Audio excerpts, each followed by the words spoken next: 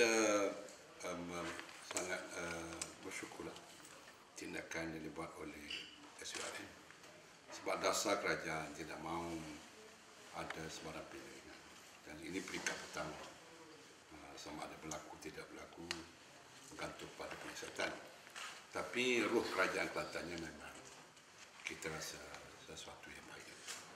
Tak habis sampai. Ya, sebab.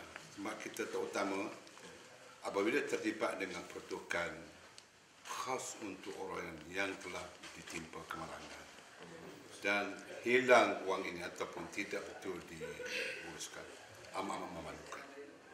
Kita dengan Allah lagi-lagi takut. Jadi kalau langkah yang diambil oleh SPRM itu satu langkah